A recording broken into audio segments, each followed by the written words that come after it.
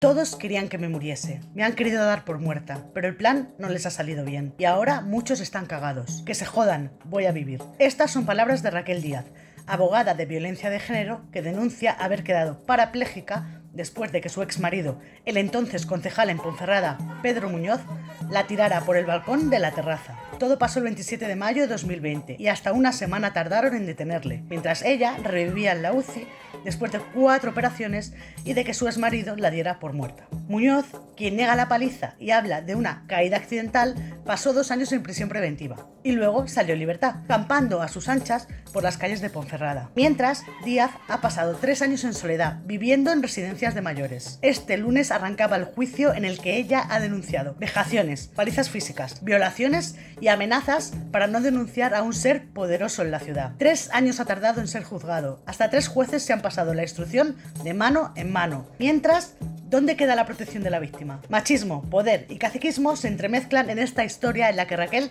lucha solas, pero no debería de estarlo. Hagamos porque no lo esté.